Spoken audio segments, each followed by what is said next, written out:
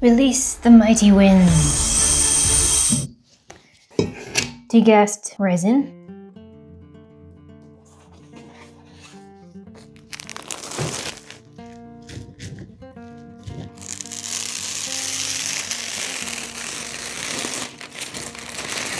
I'm making two different versions of this plate with forged carbon fiber and regular carbon fiber. One of them is going to be put in a vacuum bag and the other one is going to have something heavy put on top. We're going to see which one comes out better.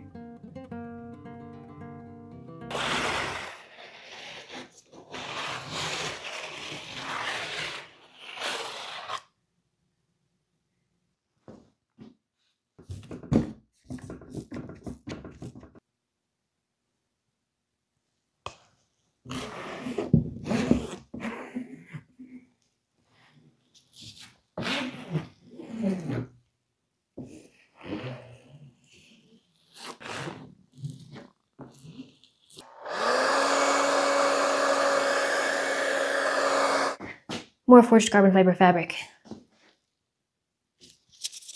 Now I can't put the resin straight on top of this, it's gonna mess it all up. So carbon fiber veil, I can sand this off because I'm gonna be sanding this anyways.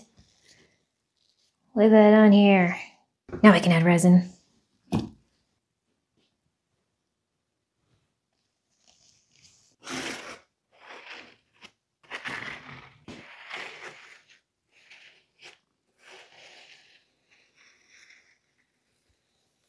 Not just one layup, but now I have two. They are different sizes because I have two different sizes of glass, but otherwise it's the same layout.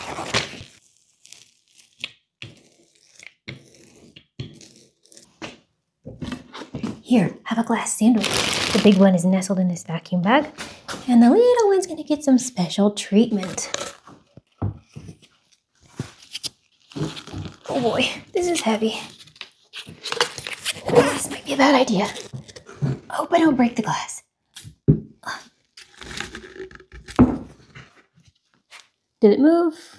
Uh, I think it's okay. We'll see. My beautiful creation. Um, we have a little vacuum pump here that's sucking all the air out of this bag. And then I have the heating pads on top to make it cure faster. Just gotta leave it for a while now. It's cured. And this right here, folks, is why we put down cardboard and wax the glass plates so that all this squeeze out doesn't get stuck onto the glass or all over the table.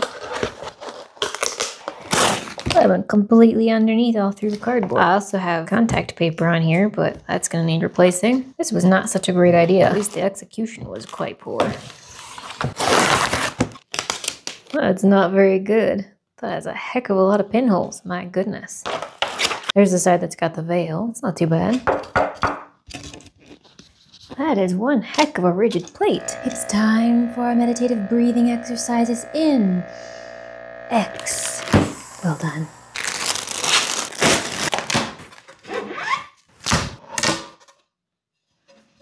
I actually managed to break my glass plate. That's a first. I should have made the peel ply stick out a lot further so more of that squeeze out would have ended up far away from the plate instead of completely enveloping these corners. That was silly. Not bad. Still some pinholes even in this one. Forged carbon fiber is just so prone to pinholes. This side's good.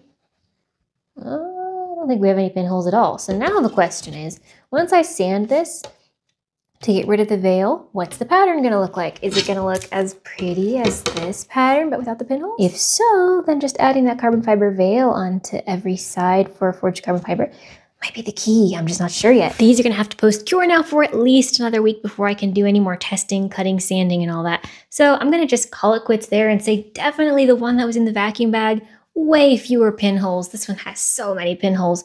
And it's a good option potentially to use that veil. I just gotta see how it comes out if I sand into it, but that definitely gave a much nicer surface finish. So good test, all done for now.